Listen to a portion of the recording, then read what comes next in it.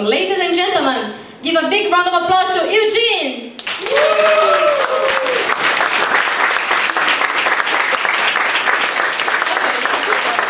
Okay, so um, thank you very much for being here. Thanks you should say thanks for having me, exactly. Everyone says that. I've tested everyone you say thank you for being here to say thanks for having me. I'm trying to find a more innovative phrase for the speakers now. And Yew Jin, so tell me just like, you studied, you lived in the US and you came back to Malaysia, and uh, you're working at Accenture at a point. So, two questions. Why did you start a business and why did you start an online business? So why start a business and why online? Actually, I kind of stumbled upon like starting uh, Carlist. Uh, I when I came back, it was like um, I just wanted a job that paid well. And apparently, ten years ago, Accenture paid really well. Um, and then I applied and got in. And uh, after like the first project, that was like six to eight months, I really wanted to leave. Then my mom didn't allow me to leave just because she said like I had to get uh, promoted before I, I, I, left to pursue my own stuff. Uh, her rationale is actually pretty smart. She said like you, you gotta get promoted, so when if you fail in your venture, then when you actually go back to the job market, you don't start as a fresh grad again. So I, I, I stayed there for two years, got promoted, then I left. But the problem came when I left because uh, my dad actually uh, runs a couple of uh, dealerships. So you can imagine like um, he got his dealership really early. It's a Proton dealership, one of them. Uh, that was in the early 90s where you could just sell whatever that's batch Proton, right? So uh, this was like in 2006, 2007-ish, whereby uh, Perodua is already in the market and uh, Proton, the, the sales has been tanking. So my dad had a huge amount of problem with the, the outlet, so I actually went in there to help. Uh, I told him I, will give him like a year. Ended up I stayed like one and a half years, but throughout the time there, I actually kind of like got into college because I was trying to sell cars online instead of being restricted to uh, a brick model kind of model. No, you told me a little bit of your story, but uh, so just for everyone to know, I'd like to make the my asking questions as short as possible so that you get to know a bit of the story and take it to the crowd to ask questions and talk more about more about your startups and the questions you have. So I'm going to jump straight to the fact that uh, you are not the only one, for sure, doing something similar to what you're doing. Yet Patrick Grove started harassing you. So uh, I want to know about that story, but before like knowing details of how did this approach started, on how did he start getting interested, tell me what do you think you did from the beginning, which was different from your competitors? I think I think when we started, we realized that uh, we really needed to have the content. So in the classified business, it's always having the largest listings, the largest selection. If you're a user, you want to go to a website that uh, has the best selection to, so that you, can find a make and model. And we looked in the, the, the, marketplace, there, there wasn't one that is gradually building uh, their inventory of listings across time.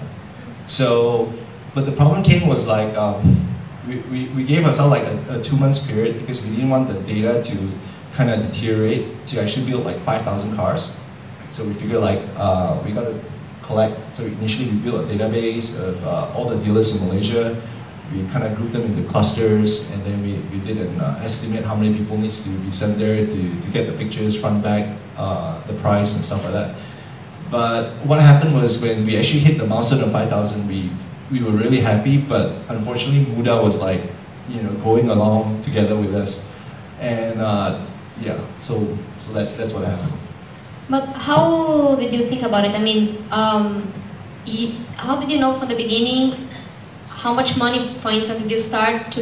You get like 30 people to work for you from the beginning. It, it, so it's, it, it's um a lot of people don't believe in writing business plans. I think a lot of you guys here, like as founders as well, as well, uh, has never written a business plan per se. Most probably. How how many of you guys have written a business plan? Okay, less than, I don't know, like five of you, like six. Um, I think writing a business plan in Malaysia is really important, uh, just because there's this, you know, there's this argument that uh, it, it's also valid as well. You go to Silicon Valley and then people just start on a, a new business without doing anything, without having any financial projections. because the, the ideas that, that they come up with, it's, it's novel, right? You don't really know, you can't really anticipate the market. But if you're actually copying someone from overseas, you already pretty much know the progression. How is it going to pan out? And uh, the other thing is, funding-wise, the valuation that you actually get here in Malaysia, it's you know you don't really have that kind of runway, that kind of uh, budget to actually pivot. So if you go to the states, you know it's, it's more fluid, the valuation is higher, you get a huge amount of seed capital, then you you can just plan as you go. If you screw up, you kind of like you know you still have money to, to spend to, to, to turn things around. But Malaysia itself, I, I guess that's the critical thing. People run out of money more often than not. That's why they quit. It's not that they don't really get like you know traction compared to money, in my personal opinion. So how does that impact fundraising actually? Because as you say, there's an ecosystem in the US that even if you fail, you end up selling your startup somehow. I, so here, people run out of money. How, how, did, how did this mindset impact your company fundraising? uh, what happened was like I, I, I wrote the plan and then I pitched it to my parents. And then my parents was like really against it. They didn't know what this was because like, you know, it's building something online. Uh, they brought me to see a family friend, which is in the finance industry. And uh, the first question that came out in his mind is like, when can I get my money back? And he, keep, he kept pressing me, it's like, you know, do I get it in the second year? Do I get it in the third year? And I told him, I don't know, but we are going to build something of value that is going to be worth a lot of money uh, because of uh, the business model itself um, and the revenue model itself. So uh, then it, it was like he didn't buy it. Then I went to seek my friends. Uh, the investors are all actually my friends from uni and uh, a guy from high school. So um, they all chipped in the money and initially without anything, without anything whatsoever, just a business plan, they, we, I, I managed to get like 500K, right? So like 80% of them, 80% of the funding was from friends, and then the rest came from the, the family. So I think you have to go back to your financials. I think a lot of um, startups today, they don't raise enough to actually last them for like one and a half, two years. You can't just like, you know, like take a take a break from your work and say like, I'm going to work at this for six months or one year to see if I gain traction. Usually it doesn't take, you know, that short of a, a time frame. And as, uh, what's his name again? Ivan, okay. Ivan realized, uh, usually, you know, it's, it's everything beyond two years. Everything, it's usually beyond two years. So you really have to have that kind of war chest to actually ensure that you give yourself, yourself a, shot. The other thing that why you, you would actually go seek the funding, that kind of amount, is based on the market valuation. If you cannot do a financial projection that says, if someone is giving you half a mil now, and then you kind of compare what the earnings of half a mil now to like five years down the road if the person actually invested in a, a property market per se or uh, you know fixed income whatever it is what are the kind of exponential returns that person should get? So this is purely based on revenue model not on acquisition. So it, it's more like the market can sustain. It will you, you get a, a tenfold kind of return if you, you know, if everything goes along with the, the projection itself. Does that make sense? So basically, what I see you did, first of all, your friends who are friends from university who were your angels, were they angels from before? No, I, I think it's the first time. One of them, I haven't seen him like, I don't know, seven, eight years.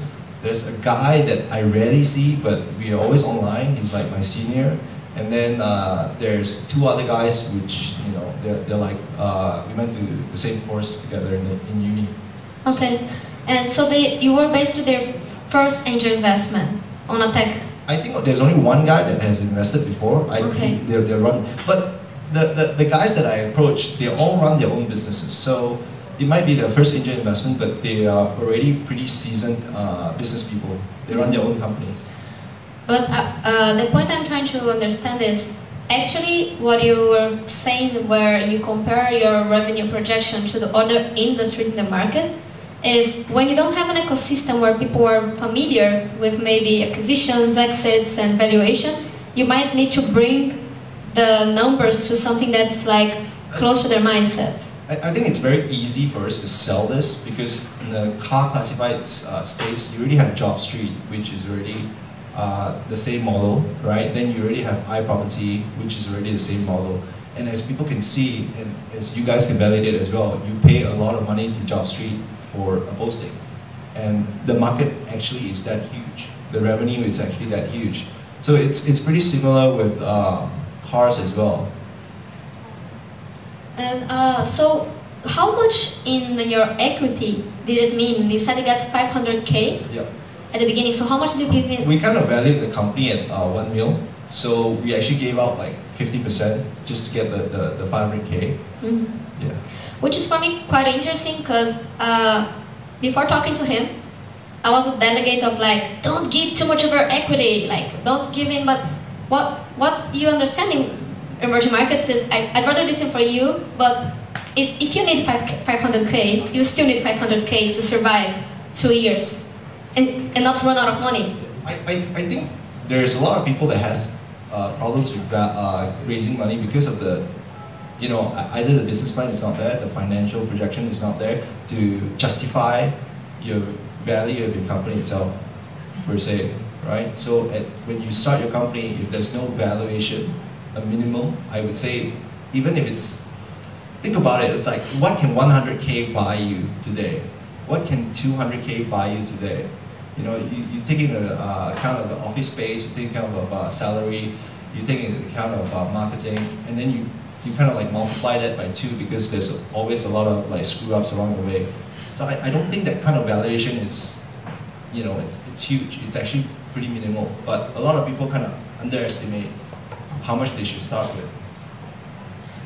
Okay, this is awesome insight. So I'm gonna jump straight forward to the moment when, not yet. Actually, within the costs you mentioned, the of like getting great people in, which is also some people bootstrap and save on this. I wanted to share how you did it, cause you told me you hired like 30 interns, and what happened with these interns? and I think a lot of the interns are here today. They've been with the company for a few years, and then uh, they're all running the they're running the group that we have right now. they should raise your hands, interns. Okay. Okay, so uh, I don't know how to explain this. We needed listings, and then what, what we realized is like the car dealers themselves, they're, they're pretty much, at that time, I guess they're, they're pretty much lazy. They, they don't really know how to like, even if they knew how to actually take a picture from their digital cameras, they don't know how to transfer it to their computer and upload it on the website. So it was really tedious. So we figured like uh, we, really, we really needed to send teams to go out to actually cycle through Klang Valley to get the listings to ensure that we're number one in listings. That's why the traffic will come. Then you think about when you actually hire someone and uh, how much will you be willing to pay that someone to do this kind of job.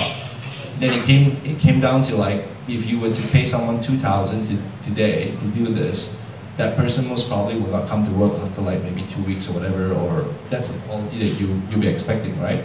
So, but interns are totally different, right? This was like I don't know, this was like how many years ago? Five years ago. Interns was like totally different. Malaysia, Malaysian unis had this ruling, right? Like had this this structure whereby interns have to they have to go and get an internship before they can graduate, and it's it's based on grades as well. So like we kind of started offering like a thousand bucks to get interns, and from this internship itself, we kind of like um, split. So we will send like a, a team of let's say a, a team is consists of two person. We'll give them digital cameras. We give them a huge like you know multiple battery packs, uh, a GPS where the location is because everything that we do it's tagged in a database and, uh, on Google Earth, and then uh, we, we kind of estimate how many how much they can cover on that day itself. So we will have like five to six teams going out, and then when they bring the, the data back, so this is like a lot of pictures, right? And as well as the year, make, model, price, uh, and then there's people like interns doing data entry, and then uh, there's also interns doing uh, uh, what we call like ICS customer service, like calling, calling the uh, the dealers themselves. So we kind of structured a program ultimately that we could actually rotate the interns around so that they actually are exposed to different things. And we found that it's like throughout like two, three years, there were like 400 interns, 400 plus interns that actually came through our program. And with that itself, we kind of like recruited the ones that we felt that you know had a huge potential uh, to to to go full time. and actually to, to continue grooming them. It's a lot of work, but I think it's you know it's it's fair game for the, the price you're paying as well as the amount of people that you can actually see across the company. Because if you were to hire people like full time, full uh, uh for a full time position, it's it's a huge headache. Yeah. At, at the very least, the interns themselves, if they're not up to spec, they leave in three months anyway. But that was really smart, and I everything you say, I imagine how would a company replicate today. But the smart way, one, not to get anyone tired because they were rotating, and I wanted to share the cases of the interns who are here now or who were actually are part of your recording. Who are they? What, what did they do? I think the first guy we recruited is Win Fu. He's uh, stand up, stand up. He, he runs uh, HR and finance for the group. So uh, if you have any issues with Cradle application, he's like an expert. Uh, you can ask him. about it. okay. So, That's okay. okay, uh, the the second guy, it's like Koksen. He's like the CEO because he's like the smartest guy in the company. He's even smarter than me, although I scold him all the time just for fun. But uh, and Raise your then- hand. So, Elwin is, is, is, is back there. He's, uh, he's doing products. All the product stuff across the group is actually under him. So, um, yeah. Awesome. And um, did you hire any senior people, like senior already senior positions? What we had was like initially when, we, when I started, my co-founder is actually from uh, Michael, his name. He's actually from IBM. So he did all the tech stuff. And then uh, I, I pulled two other person from Accenture, my ex, you know, my ex-colleagues. And then they actually kind of groomed them with this, trying to build this pyramid because we had a huge amount of interns that just needed parenting or whatever. I don't know. And uh, for tech talent developers, did you hire senior or did you have only Michael? We, we had issues hiring like everybody else. I think it's it's more like it goes back to the funding again. A, a lot of people have this. I wouldn't say naive. They're very optimistic that you know I will hire the best people I can find. You know, initially when you start, you want all the shit hot people, and then you go and pitch, pitch, and then like you know maybe you get one out of like five, and then the person that you figure like shit hot when it's in that startup environment, they're not that suitable, and then you kind of have to churn then when you churn itself, your projection goes out of whack. Whatever that you raise, it's it's kind of burned. So we, we had this issue as well, but the benefit of having a, a CTO that is a co-founder, that is someone that you trust, is that they can actually validate for you who they hire and tell you whether this person is legit or not. The person doesn't, your co-founder, if you're doing a tech startup or anything web-based, the person doesn't have to be the smartest programmer or the best programmer there is. What he should just do is tell you whether this person is legit or not. What I see uh, today when, when entrepreneurs come up to me, it's like, there's a lot of people that don't know tech, and then they're looking for, for a CTO, and then they hire someone, and then they have never met, uh, worked with them before, they don't really know, understand their language, and what do you go by? Do you trust that person into spending your cash into recruiting people that you don't really know what they do? And Michael, you actually were colleagues, like friends from uni. We, yeah, we were friends from uni. He was like the smartest guy in the class. Oh, you're lucky. And um, well, and jumping uh, forward to the last series of questions I actually want to ask before jumping to the crowd. So you guys already can start filling the gaps and thinking of questions you want to ask that I'm not asking. Um, I want to know the story behind the acquisition and specifically also about your relation with Patrick Grove. People many times see acquirers and acquired, but there's actually like a, a personal, I don't know, relation behind that that I want to Yeah, understand. I, I mean, it, it, Yeah. initially we were like really um, cautious, like everybody else. So Uh, how, how, how did it first happen? The first contact, how did it go? up less than a year after we went live, I think it's like the 10th, to 11th month, we started getting inquiries to actually uh, acquire the company itself. Um, and there were a couple of like really huge companies trying to acquire us. And then we felt it wasn't time. And uh, one day Patrick just called, and then we, I, I, I went to meet him, and then like he kind of presented something to me, and then it's kind of like across two years. So you have to give him credit, right? He's he worked really hard and he's, he was really consistent and actually, you know, every two weeks he will actually call me and say how things like you come to office, you go for lunch and yada yada yada. I think he has a bad rep outside. Sometimes people say like, you know, he's a shark or whatever. I don't think that's the case. I think he has given us everything that we've asked for and even more. I think the, the team members can validate that. I, I just think it's like, um, and if you think he's good at doing deals, wouldn't you want him to be on your side if he actually comes and acquire you? Then you know it's it's it's the best people on the team. So I yeah, that's the kind of relationship. But I guess what uh, he was actually in, uh, why he was actually so interested because the, the courting period is like across two years. Every time we went back to him, we showed him amazing numbers. We showed him like fantastic growth. So like he was like you know he, he just So, um, and if you could like, did you work for a while with Patrick Grove? Like Actually, when we, the moment we listed, I was out after a month. But why did you quit? If you can, why did you decide to quit? It was, okay, there was some personal stuff, inside stuff that I guess these guys know, but I can't touch on that. But there's also a professional reason why I think you need to s- step back. At the end of the day, when you list, so we went to like Thailand and Indonesia to acquire sites, right? And then um, it ultimately is a public listed company. There's a lot of things a public listed company has to do to show numbers on a quarter to quarter basis. It's no longer the best product, you know, it's no longer the, the best people because they need it now. Now, there's another reason why I felt like you know I, I should leave besides whatever happened uh, in the office. It was because I didn't want it's listed right. You can just buy the stock. I mean, like if you actually believe in the company, if you actually believe in the the model itself, you can just buy the stock. So there's really not much you can actually impact if you actually think the macro level of it sustains the company. And I didn't want it to be like I'm just there to um, ride on whatever that is already there. I felt like I would be really lazy if I didn't leave and do something else with my life. I would just be very comfortable and like, you know, just uh, collecting my salary and like, you know, waiting to An pull a check. employee. Yeah, but it because everybody had equity. It's it's it's more like um, I didn't want, and and the funny thing is like, after we couldn't sell the shares for like a year, Patrick couldn't sell for two years. So like we can sell for one year, and uh, when it was time to sell, a few months after we could sell, I kind of divested everything. Why? Because I felt I didn't want to be tied with the companies. I mean, it's kind of like I didn't want to be living on the company's growth. Does that make sense? I think you you know. Keep explaining. Okay. it's more like um, if you have X amount of dollars, okay? So these are like a lot of money, and you're all set, and you don't want to work anymore. You go buy Facebook.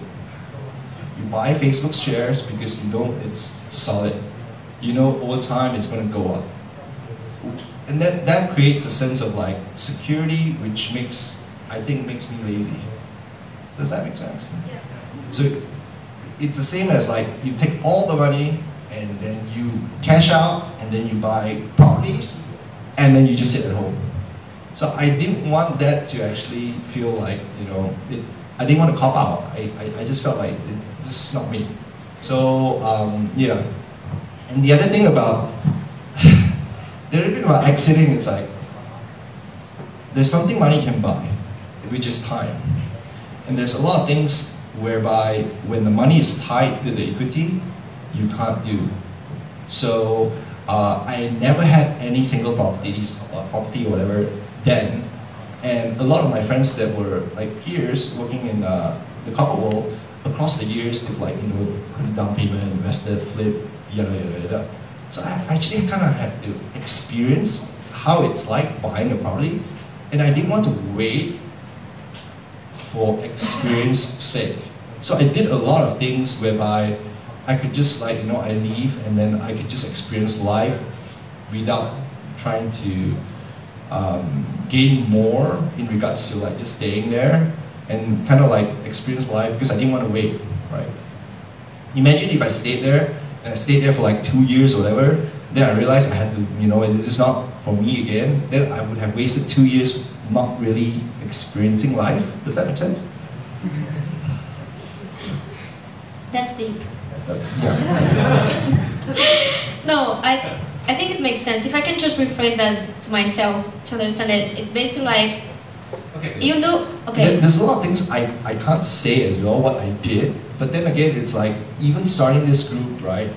If I stayed there and if the if I stayed there, this will never happen. If if if I stayed there, there's a lot of other investments that I did would never happen. So I think it's trying to live life the way you want it want to, rather than banking on a company that's solid that pays you X amount on a monthly basis, and everybody's working towards you know the share price going up, so on and so forth. Mm. This actually makes a lot of sense, and I notice that many times what keep us stuck in life is, are good things, good situations. So something great happens to you in life, instead of opening yourself for more good, you hold on to that and you stop growing and you start becoming unhappy and more fearful of losing you. I, I am actually more fearful. I, I think a lot of my angels tells me like, Yew Jin, it's like, you know, like you're what's now, it's like, you know, now you have this amount and then like, you know, you just want to protect it or whatever. And then I think I'm more skeptical. I, I guess when people get older, you know, they've seen the same story or whatever, they, they're more skeptical. But it doesn't mean that I don't take risks. I, I, I think I'm just more aware of what's happening, more mature now. But that's an interesting insight, and the decision you made makes sense to keep you moving. And we're going to talk about what you're doing now. I think that's an obvious question the crowd can ask. Okay. Just um, if I may take a little bit more of your time, Sure. Go ahead. um, what are the things you could, if you could summarize that? First of all, you built a marketplace, which I personally, on my opinion, is one of the trickiest business models you need to build. And maybe the rules of a marketplace don't apply to every other business.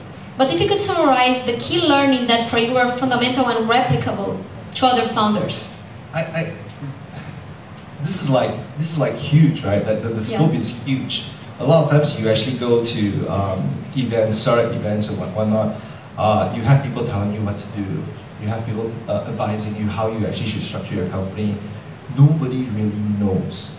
The fact is, is nobody really knows. It's either personal branding or they, they tendered for the event, they got it, or whatever it is nobody knows on the ground level as much as you do in regards to your business itself, how your customer reacts, how uh, whether they're willing to pay X amount, so on and so forth, like whether you actually get enough visitors.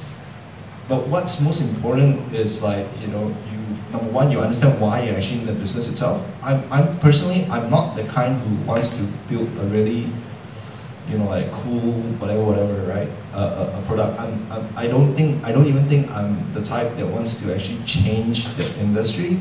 I just wanted to be financially independent and uh, make enough money so I don't have to worry about it uh, that much. And I wanted to actually ensure that the guys in the company itself exited with, you know, comfortable amount as well that we can actually continuously replicate what we did previously. I think it's it's it's going on pretty well in that in that regards. So that was my main reason. If if you meant if you ask me, it's like if sweeping the floor makes money, then so be it. We'll sweep floor and it's scalable and you can actually list it. I think it's fine. So I don't have that, but so you have to actually understand yourself, like why are you doing what you're doing, so that you have longevity you, you actually help you with per- perseverance. It actually help you with not giving up. The other thing is like um, I think we, we, we, we had a discussion with this about this um, yesterday in a different setting. Uh, when startups like someone like Ivan comes to me for help, and then I tell him it's like, why do you take shortcuts and whatever, and then people are very um, sensitive. It's like I, I say like, oh my god, you come to me with this problem, die lah, jialat already now. You, why did you take this shortcut lah? Why you didn't do this, didn't do that? Then people like sensitive ma. I never sleep every day. I work so hard. You know, I don't even get much salary, whatever, whatever, right?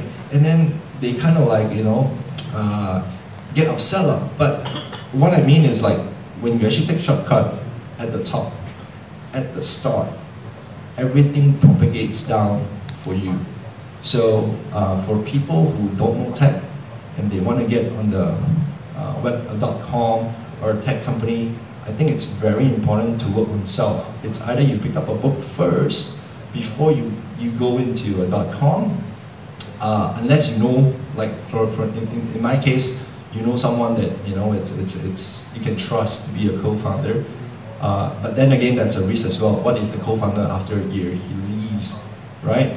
Or you should just join those that are totally they, they don't know anything about tech. They should just join a software house per se, like six months, one year to learn at the very least. You can do testing, you can do like um, customer service, you can do like uh, usability tests. Oh, there's a lot of stuff you can actually do within the software house itself to actually learn the technologies that will apply later on. Then we talk about funding itself. A lot of people like, they find it so hard to actually get funding. After they get like 50K, they get very excited. 100K, they straight away go. Right? I don't care what it is, I'm going to incorporate this company, I'm, I'm, I'm you know, going to hire whatever. They don't bother with the, the, the financial projections, they don't do the business plan. Then it comes to a lot, it's like recruitment as well. Oh, I cannot find people, so no choice, I, I take that person.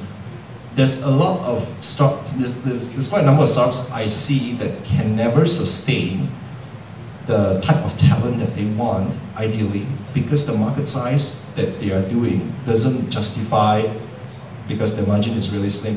The, the example that we had yesterday, uh, I shouldn't name the company, but it's okay.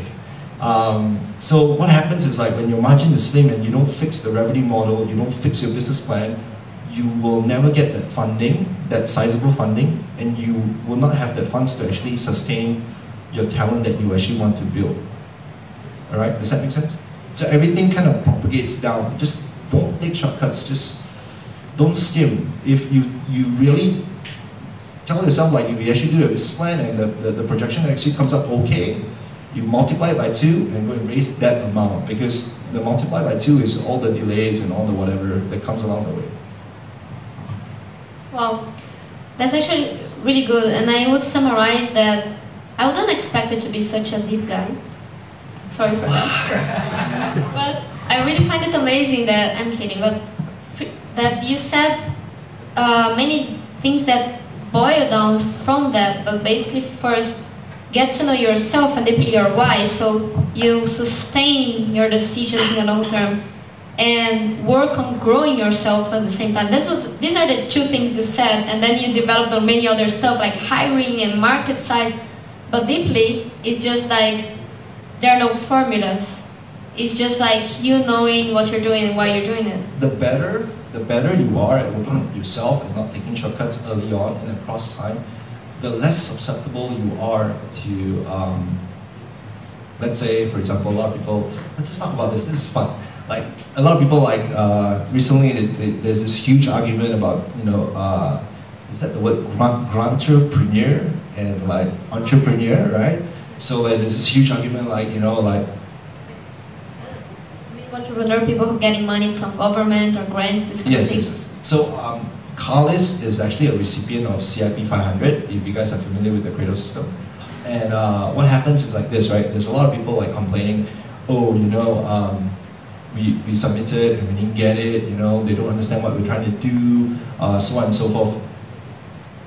If you're, you're strong enough in regards to funding, if you're strong enough regards to funding, you don't really need this to survive. If you're strong regard, in regards to funding and cash flow, because you raised enough, you're not susceptible to the delays that they will come up with. Because a lot of people complain, right? reimbursement or whatever takes forever, the company doesn't have money to run, so on and so forth. So I think there's a lot of things later on, if you actually do everything right at the start and continues to do right, you're actually protecting your company. Does that make sense? Yeah. I'm taking notes to tweet later. It, it, it's not only this, it's, it's in regards to like uh, uh, talent-wise, if you recruit well, it's in regards to like uh, com competitors. When people come and say want to merge or want to, you wouldn't doubt. It's, it's like if you know yourself, you, you, you hired well, and you're happy every day going to work, and these are the people that you actually want to be successful or fail with, why worry about somebody else? It's just distraction. Mm-hmm. I'm writing down just, I don't know if you guys are tweeting some things, but I really find this tweetable and good to share with everyone. And especially in the era of lean startup, which is already a methodology that's kind of last week, but still the bootstrapping thing, people follow the formulas because they're comfortable, right? They give you an illusion of certainty. If you follow the formula, it's gonna work. But as you say, like, you didn't follow bootstrapping any of these rules. And I'd really like to see how that became what is definitely a success story for Malaysia. I, I, you, you really have to understand the, the industry yourself, do your homework to analyze, because what you actually need to get to, to some place, it's like, it's like if I were to ask you to actually do the lean startup to build a house, you need raw material, right? You like, you, you get what I'm saying? How long will that take you? Yeah, you probably like lay brick by brick, and then like after a year, you know, put the door on and whatnot, so on and so forth. But it'll take you like forever to actually get the house up. So I think you really have to understand and it goes back to like, you know, learning about self, learning about industry. Don't take shortcuts. Just Thank you very much. I took longer than expected, but it was really good. And I'm gonna take it to the crowd. So who has questions here? Awesome. Hi. So uh, my question is around the car industry. Okay. So I think you started around 2000 and we went live to February 2009. right. So that's quite late because I, I think Motor Trader was already there, Yeah. and then Auto Trader, and then you have the whole association stuff. So when you went in, Okay. did you was it like hey uh, finding you know business from those car dealers was no problem, or did you actually face a lot of impediments? I think those guys were, were doing us a favor because what happened is like there's a lot of like if you're the only guy, you're the first guy to actually get in the market with like in that time, you would really have to educate a lot, a lot of dealers how this actually works because they're so used to like advertising on the, the magazine and that's it. Or the newspaper, you know, you have a few lines and, and so on and so forth.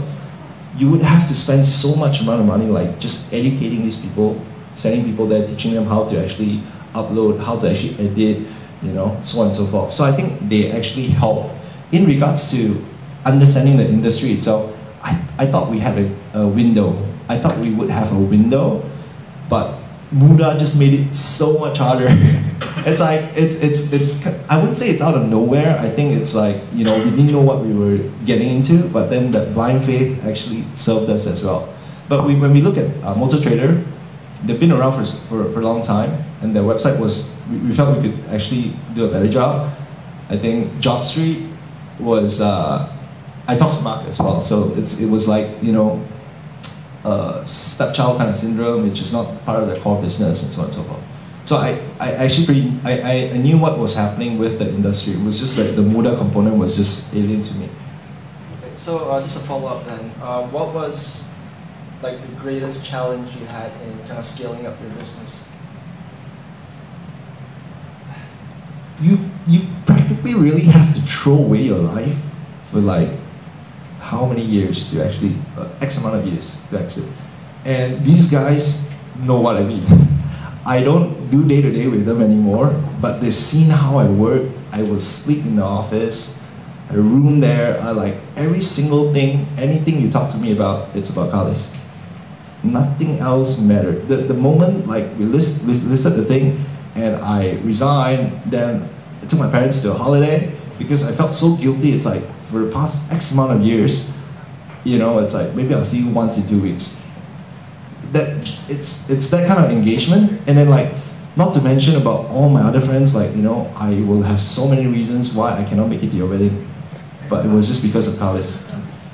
And it, it, it it's just that. So I, I guess you just have to be prepared to actually let that go. So blood, sweat, and tears.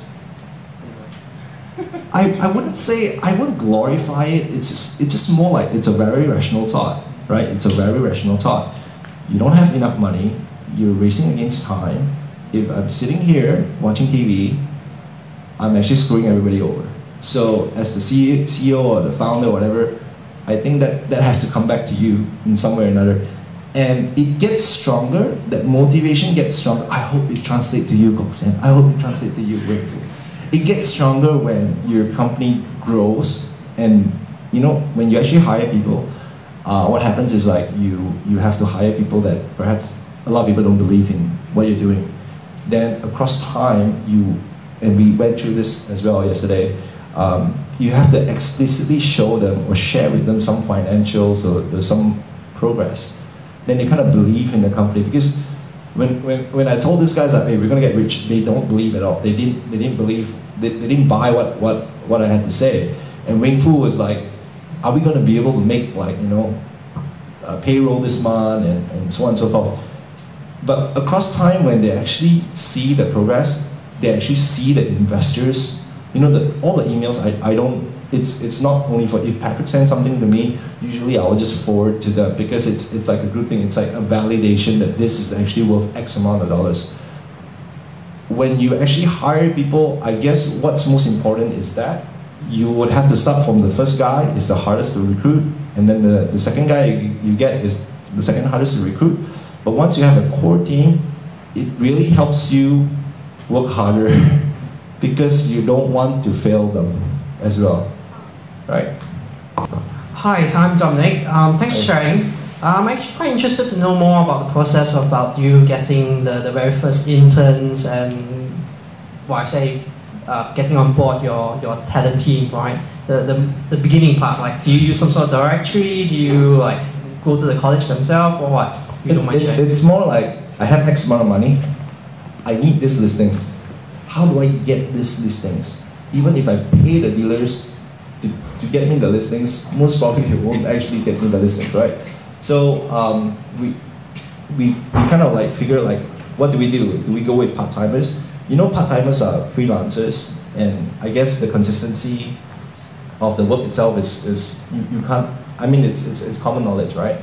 The commitment level. But with interns, it's really different because they need a grade.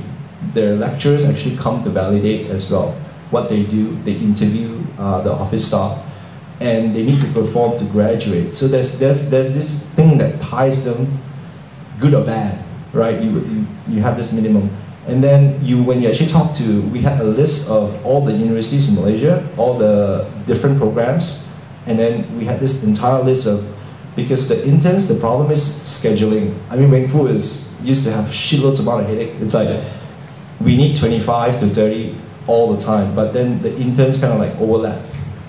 All right, some people the internship starts like you know like March to I don't know March, April, May, and then some people starts in April and so on and so forth, and then there, there will be like gap areas where like no uni or no program is having an internship period at that time. Then you kind of like supplement with um, part timers that we used to used to get from asiaparttime.com and uh, so on and so forth. So it's it's kind of a learning process. Initially, when we got one, we kind of asked them, "What are your other friends doing?"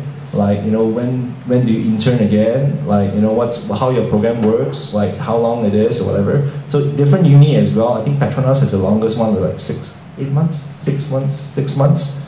So yeah.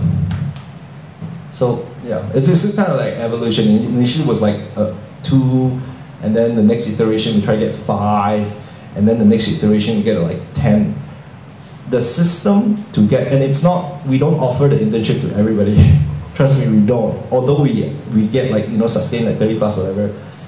All the people in the company, the, the business development execs, have a schedule. Every single day they'll be interviewing like two two candidates on the phone, you know, like trying to see if it, it, it, it works out or not. You. Hello. Um, you seem like a very deep, emotional guy, so I try and tap on that. um, actually, I'm not like this with them though. it's a good opportunity. Hey, um, sort of going back to your very, very early days, well before going live, okay. can you touch on the topic of doubt? I mean, as a founder, as someone who's starting out, I'm sure you go through moments. I think I think it goes back to your why, right? I think I think it, it really goes back to your why. If your why is strong enough, I don't see a reason why you would doubt yourself because there's just no other option. You, you know what I'm saying? If I work today, I give you a, okay. This is this is not a dig on Accenture, okay? This is not a dig on Accenture. The salary today, it's like we used to get three five for fresh grad. I think they're paying like three eight now after ten years. Everything has fucking gone up. Hello. and they're paying that kind of amount today. I mean, like, I don't want to be working forever, per se. I don't want to be in that. So, irregardless, it's like if I fail, I fail. It's fine. But I don't see any other way I would live my life. So some people do it for different reasons. Some people really want to change the industry, want to impact people whatever. I just wanted to make sure that I have enough and my team has enough. Then I'm happy. Right. Wow, that's awesome. But I, so just share with you guys. On top of that, there is a Chinese saying Okay. that says that successful or not, a sincere approach is the only way. So that's about that. Master Yew Jin Teoh. okay, next one. Eugene, I just want to know, like, what is your um, ethics or, or culture in educating the people that you're with, and like, what kind of education do you really uh, believe in providing your team? For us itself, it's it was more okay. If you ask them, their attitude wasn't that good anyway when they restarted. it's like you know, kids they just want to like um, game all day. They just want to like you know go to movies or whatever, whatever. I think there's there's this. We had a very good um, because we had ten. We had James. Uh, we had like three people from Accenture, and then like one from IBM. Actually, up to four from Accenture. I'm not. I, Evie was there at that time. I think the top level actually uh, is very important to, to educate, and you really have to spend time. I don't do anything most of the time. Like after we actually was running, uh, um, you know, at a full speed with 30 interns, most of my time is actually spending in the meeting rooms. I can have a schedule whereby I think I need to do one or two items, but the rest of the time is actually ad hoc stuff. We spoke about everything. Like we would we would ask interns to come in and like you know tell them about this that this that. Issues in the office people don't want to talk about, uh, performance issues like attitude wise, you know just to just to actually you know go through with them so that they actually improve. And we spent so much time just grooming and talking to people. Like what do you want to do in your with your life? And like you know can we give you this task? Do you think this is actually going to help you achieve where you want to be uh, you know like what, what are your interests are like you know and, and if, if that person has a, a web tendency we kind of introduce them to, to stuff that's web related. It might be AdWords it might be you know SEO whatever it is. And we actually do spend a lot of time there because we felt that this is a window a three months window that we can actually see whether we, we hire or not. Rather than getting someone outside which we have no clue what the person is going to be like does that make sense and when you get them young it's it's it's much easier i guess people people's mindset they're, they're not as fixed i think yeah it's just a lot of pain i mean like we had people took the company car for like you know datings like people like uh, went out to meet the dealers, and then we found out three days later they went for a, a 3 p.m. show at GSC. Those kind of stuff. It's like, but that, that's education as well, right? That's education as well, and I think it's it's actually you know you have to actually go through that as well. Um, hi there. Uh, hi, Yew Jin. Uh, my name is Alan. Thanks for sharing with us your journey no with. Carlist. So um, let me ask you this: If there's one thing that you would do differently before you start up Carlist, what would that be? I would I would actually pick a different industry. Seriously, I it was because we were like you know like we were there. If it's if it's if it was without I mean like you don't see the the, the how do I put it. When we got into college itself, when we are at, at the stage whereby you're new, there's a lot of other people that came before us. We had like others car classifieds that didn't make it. So these are not like Motor Trader, these are not like uh, Autoworld, these are not like, you know, Mudah or whatever. They, they just came before. And it's, they don't last long. After three to four months, whatever, they'll just go bust. So we had such a huge, we, we, we practically had to beg the dealers to take the listings. That was how bad it is. And now these guys on they're working on a wedding. It's up for like I don't know eight nine months already, right? Right, right. I'm sorry, wedding.com don't mind, but according to them, according to the revenue stats, traffic, we're the best. Thank you very much. I think should say So, so if you have any complaints, take it out on the CEO that tells me the traffic figures and revenue or whatever. So I think what we learn, I guess, from here, it's like you pick this industry, people are more tech savvy, they are very welcoming, they will just give you the money, they give you the opportunity. There, it's like number one, uh, people that are selling cars, used cars, usually you know, at that time they were not that tech savvy, and there's a lot of people that came before them that didn't do a good job that we really had to beg. It, I just can't tell you how hard it is. It's like You go to a, a, a showroom, uh, and they have like cars, huge amount of cars, and you see the cars you want the inventory, but they're all parked together, like blocking each other, whatever.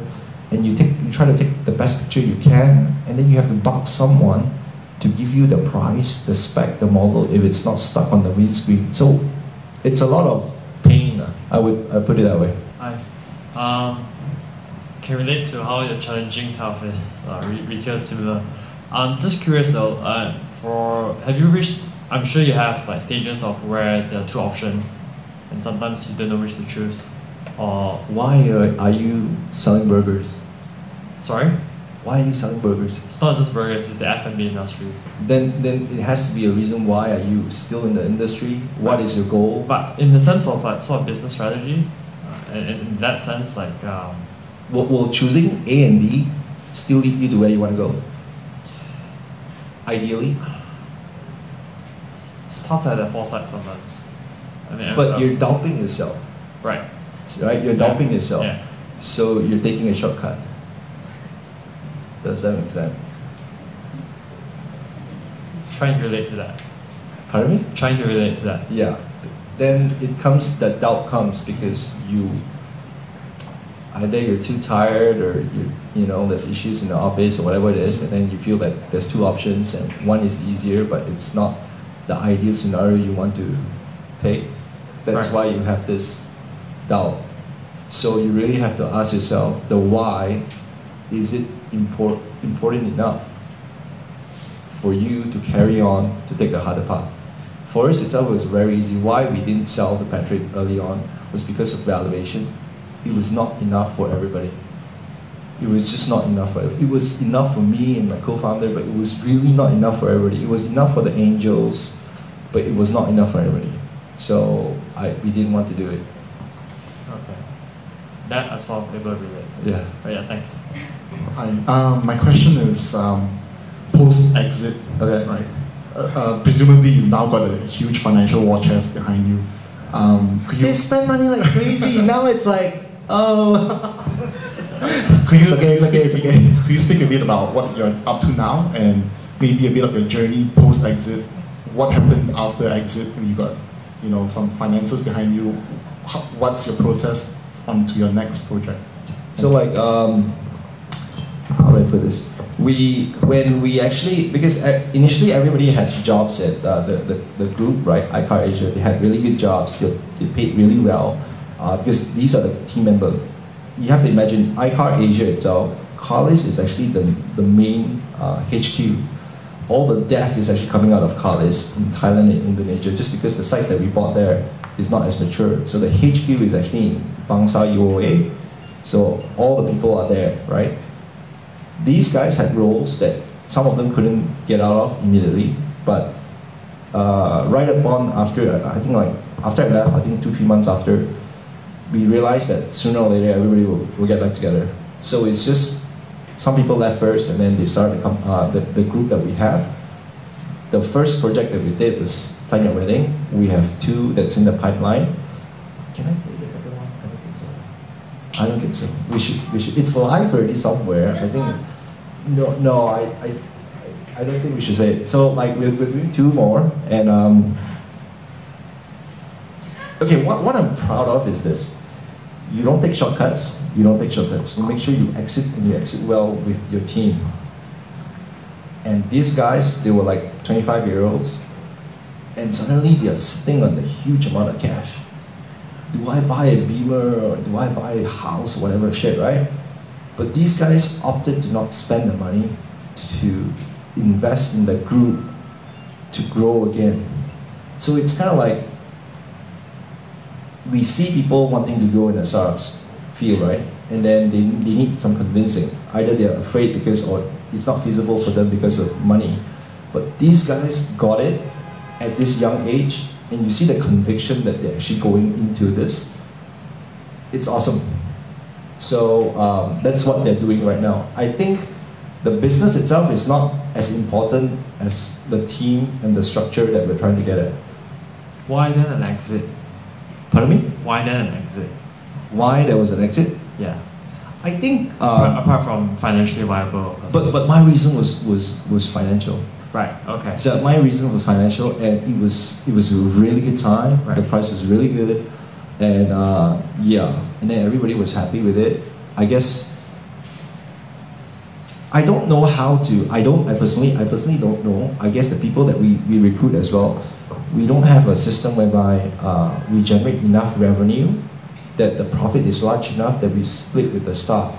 What we do, we have to exit at a huge scale within four to five years because I don't want someone to be working in the company for 10 years trying to profit share. Then it doesn't it doesn't make sense for us. lah. But some people, if, if you have a restaurant and you know your team is you know manageable and you want to profit share, I think it's fine as well. Sorry, I didn't quite get the answer I wanted, or the question didn't come out right. But Okay. what I'm trying to say is, um, you know, because what we're doing now is a bit like what you were doing then, where you were introducing something that the market wasn't too sure about Okay. what it is and what to make of it. My my question is, What what are you doing? Sorry, James. sorry, What are you doing here? can't talk about it too. Okay. no, I'm kidding, but we'll talk about it later. Um, but the point is, um, the, the Okay, I'll guess. I'll guess. I'll Yeah. guess. But the point is, you know, when, when I when I ask about that, what I'm trying to get to is, to what extent do you push a team? I mean, like if you've got a team behind you and you're pushing them, and say they've given you two years of their life, for example, you know, how far do you go before you say, guys, the ship is not heading to the direction that I want it to go at? I think we halt or whatever it may be. But dealing with that doubt as you're progressing, did you encounter that? And if you did, how did you overcome that? you have to set like um, feasible milestones for yourself, for the company itself. As long as progressively you, it might delay, it's fine. But progressively itself, after three months, whatever, you hit a certain milestone. That's validation for you to continue, regardless if your money is you're bleeding money, regardless if things don't look bright, you have issues with uh, people, whatever, whatever it is. Because ultimately, it, it's getting traction. You, you, you get what I'm saying? Yeah. I, if you're talking about motivating people itself, are you hitting it? More, more on the money side for now, but eventually motivation will become a. Because if there's no money, there's no motivation. You have to. How do I put it? If you go back to your financials, and this started very early on, I'll, I'll just grab them in the room, and then I'll say like, these are the financials. This is the amount of money that we we're expected to make after you know one year, two years, three years, so on and so forth. They have to actually see it because it's like a lot of people like oh they, they just think uh, I had issues with this as well. People complain like uh, the founders don't want to share. They just give you equity and you don't really know what your equity correlates to. Then you don't really know your market size, and you, you keep everything close. And then it's going to be very hard to actually motivate your guys, especially when the, the times are not that good. Does, does that make sense? Yeah. Now, just I'm just curious about, uh, I guess more in the beginning when you said, you know, you raised 500,000 by valuing the company at a million. Uh, so what, well, what stage of the product were you at at the time? How much of it was based on traction? How much of it based on the business plan? Uh, and I guess how much did that plan kind of change? We didn't even have a domain. We didn't even have anything. It was just a business plan. And then I, you know, I pitched it to a first guy. The, the guy wrote me like hundred thousand dollar check. And then I pitched it to the second guy. He he said he gave me a hundred thousand dollar. You know, I, I want to go back to like funding. Huh? It, it's very funny. It's like I go to my family friend, the uncle that is in the finance industry, and he keeps talking about all these numbers and whatever, so on and so forth. Then you go to your peers, your friends that have known you well enough for many years, and they're already running businesses, and they're willing to actually bet on you. So a lot of times when people come to me and say like, I can't find funding, if among your circle that knows you so well, nobody is actually going to, you know, take a punt on you, there is something, there's an issue with yourself. So then you go back and build yourself first. I have to show to these people that I can do something, X amount or whatever. It helps that I, I actually worked out. I mean, like if I actually just graduated and then I didn't go through Accenture, perhaps it's, you know, it would dilute uh, the, the trust as well, right? If, if it's an industry that I don't know, because I worked in a, a, a car dealership for one and a half years, then it will dilute the trust as well. And I guess, you know, if I didn't know tech, I was just, you know, going to wing it, I guess it, it will dilute as well. It's just a line that thing. If you ask me to do something about fashion or restaurant or whatever, I don't think people give me money for that, unfortunately. So now that you've exited and, and so forth, right? Yeah. Um, what's your next bet? Where are you putting that money? These guys, it's it's it's okay. I don't. It's a sizable amount. It's a crazy amount to be putting on these guys for a lot of people. But I just think it's like you know, number one, I owe it to them for whatever I have today. Number two, I think it's like if I can't trust them, who do I trust? So the the business itself is irrelevant as long as they can continue to actually find talent, continue to actually groom, and continue to actually you know build an organization that we can actually whatever it is, if it's sweeping the floor, Uh, we'll just do it. I guess beside these guys, right? Yeah. I want to know like who's the next one, or who are you hawking on now? The, yeah, the industry is big. There's a lot of stuff going on. Big money. We decided to actually, the group itself is working on three things. Okay? I will give you like planyourwedding.my, alright? Uh, we, we, it's a finance thing that we're getting into. Alright, we already did a JV. The last one, it's, it's, it's something else as well that we're, we're working on. If we have resources across time, then we will actually add, I mean like there's so many things we want to do, but we can only go as fast as we can actually recruit talent and we can actually uh, How about how about what you want to do and it's outside? I don't know. It's like that's the thing. It's like I'll be messaging him like 2 a.m. whatever. It's like I'm so lost. Wow, very sian now. I, uh, I, yeah. It's like you know I don't know what to do with my life and like you know I complain to them all the time and and these guys know me really well. Uh, they're like family. So like I don't know what to do. I'm I'm still finding out what I want to do.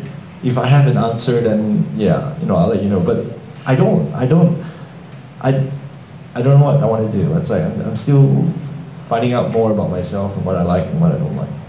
Um, so I have a question regarding uh, determining whether you're uh, you're the type that you know uh, that is actually uh, managing the tech stacks and you know uh, you know versus the the quality of a person who actually uh, brings business in.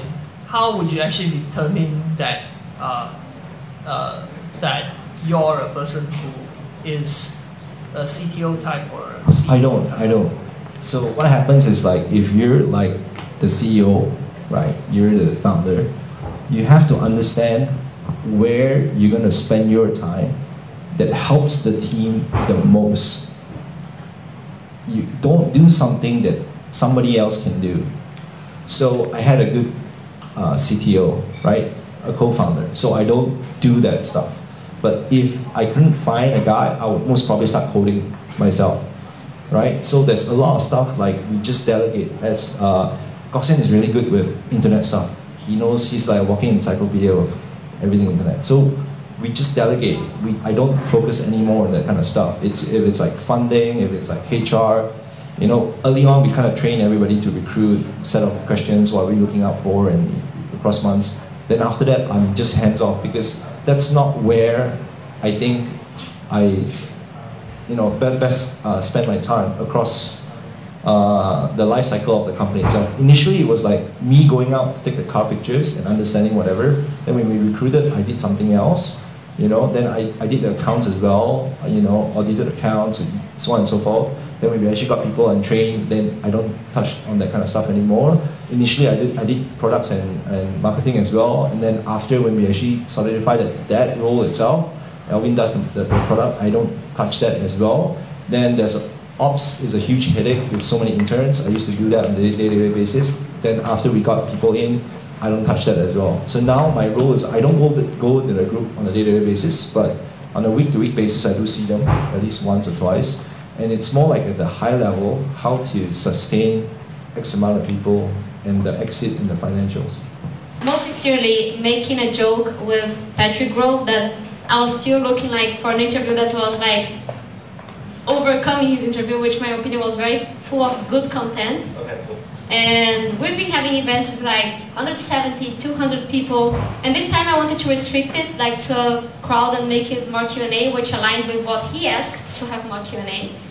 And I'm really thinking that this was really one of the best we had lately. So thank you very I- much. I, I think there's a huge uh, difference, right? I think there's a huge difference with because she sent me a few links to actually look at what other people talk about, and uh, I guess you really have to find out your why. You look at all the people that has come on board, right? Like people from Khailee, uh, Patrick, and uh, Cheryl, so on and so forth. Everybody has a different reason why they're doing what they're doing. So you really have to identify with your why. What are you trying to, you know, do? And then I, I guess that will actually uh, ensure that you actually go the distance. That's so good. Thank you so much.